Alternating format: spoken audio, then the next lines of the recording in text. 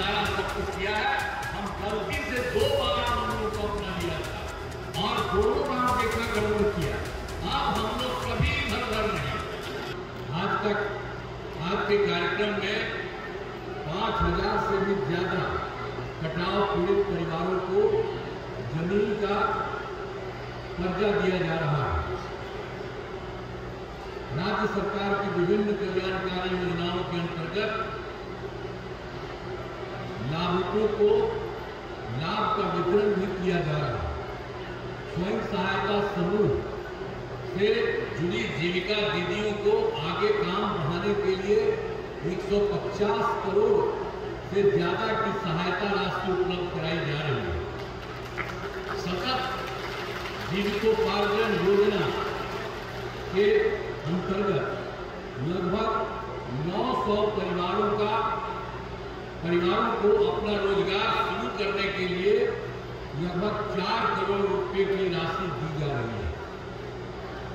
साथ ही आज लगभग 100 करोड़ रुपए से ज़्यादा की योजना का उद्घाटन तथा लगभग 300 करोड़ रुपए की योजनाओं का शिलान्यास भी किया जा रहा है। मैं पहले भी कटिहार आते रहा हूँ। अनेकों बार मैं आते रहा हूँ और सब चीज़ों को हम देखते रहे हैं और कहीं कोई दिक्कत होती थी, कोई नुकसान होता था, उसको भी हम देखने आते थे। अभी तो हाल ही में इसके पहले 2022 में 6 दिसंबर को भी मनिहारी अनुमंडल में बागमारा में मैंने गंगा नदी के कटाव का निरीक्षण किया। पुनः समाधान यात्रा क्रम में पिछले वर्ष 5 जनवरी 2023 को कटिहार आने का मौका मिला था। इन अवसरों पर गंगा एवं कोसी नदियों के कटाव की समस्या तथा इसके कारण विस्थापित परिवारों को रहने हेतु भूमि उपलब्ध नहीं होने के, होने की बात बताई गई थी। है कि इन सभी समस्याओं का निराकरण किया जा रहा है। इस वर्ष भी अगस्त एवं सितंबर 2024 में बाढ़ के कारण कटिहार जिला में बड़ी आबादी प्रभावित हुई है। इसके पहले बाढ़ प्रभावित इलाकों में सामुदायिक रसोई केंद्रों का संचालन कर भोजन की व्यवस्था की गई है। प्रभावित फ़सलों के लिए भी सभी ज़रूरी व्यवस्था की गई है। अगर कोई तरह की घटना घटती है, उसके लिए सब तरह का इंतज़ाम हम लोग करते हैं। ये पहले नहीं होता था। अब पाँच से जब हम लोग आए हैं, तब से एक एक चीज़ के बारे में किया जाता है। हर जगह किया जाता है। किसी चीज़ को छोड़ते नहीं है। और जहाँ कहीं भी कोई नुकसान होता है उसका पता कराते हैं और पता करा करके लोगों को जो सुविधा दी जा सकती है किसी के परिवार को दिक्कत होती है, उसको हम लोग मदद करते हैं, उसको सब तरह की सहायता देते हैं। तो सब प्रकार से आप जानते हैं, हमारा शुरू से ही कहना है कि राज्य के खजाने पर पहला अधिकार आपदा पीड़ितों का है। जो आपदा पीड़ितों का हम लोगों ने बनाया है, और ये उसी का काम है। और आप जानते हैं साल हम लोगों ने क्या कर दिया इसके ध्यान में रखते हुए?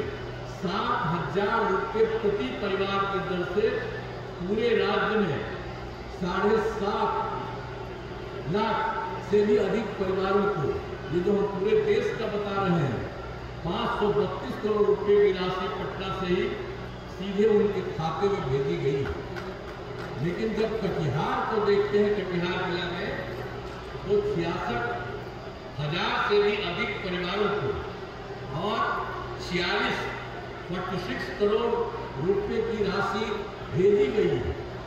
इस राशि से बाढ़ पीड़ितों को काफ़ी राहत मिलेगी। ये चिंता मत करिएगा, जिनको कहीं भी कोई तकलीफ़ हुई है, उनको पूरा दिया जाएगा। और आपदा प्रबंधन विभाग के अधिकारियों को यह भी निर्देश दिया गया है कि जिन किसानों की फ़सलों का नुकसान बाढ़ के कारण हुआ है, उन्हें चिन्हित कर फ़सल क्षति का मुआवजा जीविका के दिवाली के पहले उनके खातों में भेज दिया जाए। और इस पूरे कार्यक्रम में उपस्थित आप सब अच्छी संख्या में इस कार्यक्रम में उपस्थित हैं।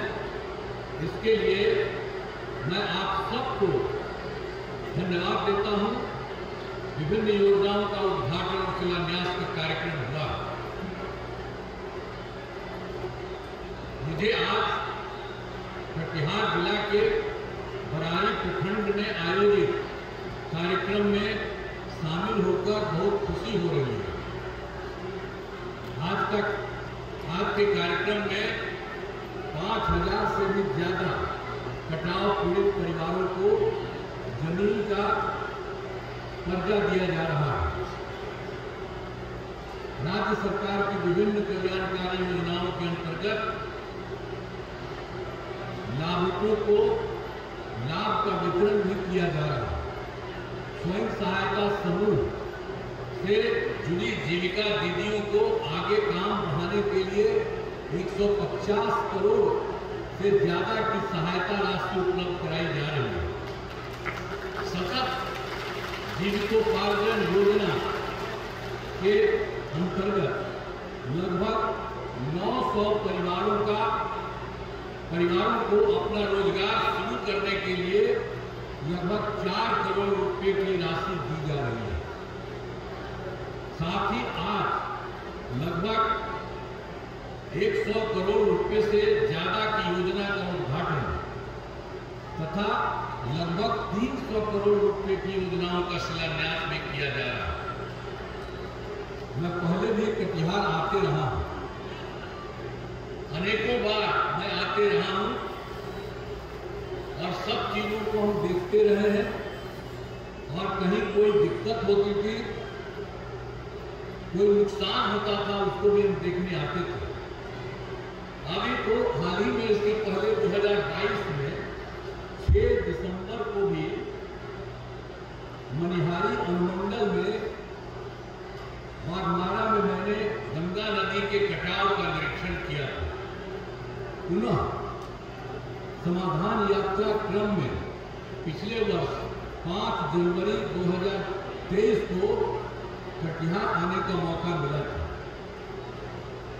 इन अवसरों पर गंगा एवं कोसी नदियों के कटाव की समस्या तथा इसके कारण विस्थापित परिवारों को रहने हेतु भूमि उपलब्ध नहीं होने के, होने की बात बताई गई थी। मुझे संतोष है कि इन सभी समस्याओं का निराकरण किया जा रहा है। इस वर्ष भी अगस्त एवं सितंबर 2024 में बाढ़ के कारण कटिहार जिला में बड़ी आबादी प्रभावित हुई है।